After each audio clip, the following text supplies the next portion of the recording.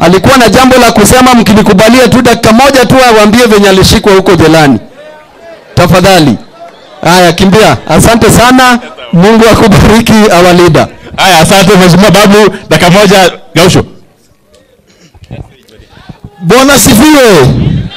Mimi ndo naitwa Gaucho Ghetto President.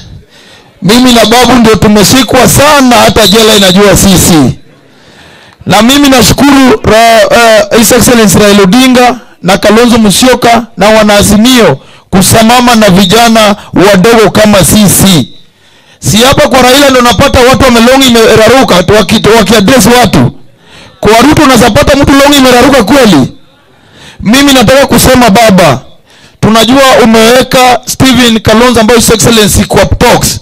Sisi kama wanageto tulikuwa nataka hata kama tuna kizungu vizuri tukae kwa hiyo talks, kwa sababu vijana hawa wameumia mambo ya ekonomi, na ile majadiliano kubwa sana isikuwe mambo ya electoral reform peke yake, kwa sababu mambo ya ekonomi ikishinda hao watu kutatua baba, hii vita tuna postpone 2027 2032 tutaichukua na damu. Asante na Mungu awabariki. Haya, haya, haya, haya.